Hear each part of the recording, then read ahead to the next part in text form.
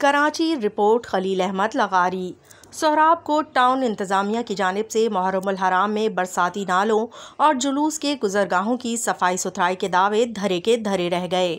مین ایوب گوٹ سے وزیر بروہی گوٹ چوک تک برساتی نالے کی صفائی ستھرائی کا کام نہ ہونے کے باعث گٹروں کا گندا پانی تالاب کا منظر پیش کرنے لگا، جبکہ ایوب گوٹ پرانی چوکی سے لے کر سیفل گوٹ تک مین شاہراہ پر گٹروں کا گندا پانی تالاب کا منظر پیش کرنے لگا۔ نیو کراچی کی سب سے بڑی انڈسٹریل ایریا کو جانے والی گاڑیاں متبادل راستوں سے گزر کر جانے کو مجبور۔ برساتی نالوں اور صفائی ستھرائی کے نام پر ملنے والے فنڈز کاغذی کاروائی تک محدود رہ گئے۔ برساتی نالوں کی صفائی ستھرائی کا کام مکمل نہیں ہو سکا۔ شہریوں کا کہنا ہے کہ سالوں سے اس برساتی نالے کی صفائی ستھرائی نہیں کروائی گئی۔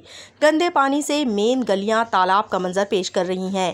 یو سی پانچ کے چیئرمین سلطان بلیدی اور سہراب گوٹ ٹاؤن کے چیئرمین لالا عبد الرحیم کو شکایات کے باوجود کوئی سننے کو تیار نہیں ہے۔ گندے پانی کی وجہ سے ہمارے کاروبار کو کافی نقصان پہنچا ہے۔ شہریوں نے کہا کہ بدبو کے باعث کاروبار پر بیٹھا نہیں جا سکتا۔ نو دس محرم الحرام کا جلوس یہاں سے برآمد ہوتا ہے۔ کس طرح یہاں سے مومنین گزر کر جائیں گے؟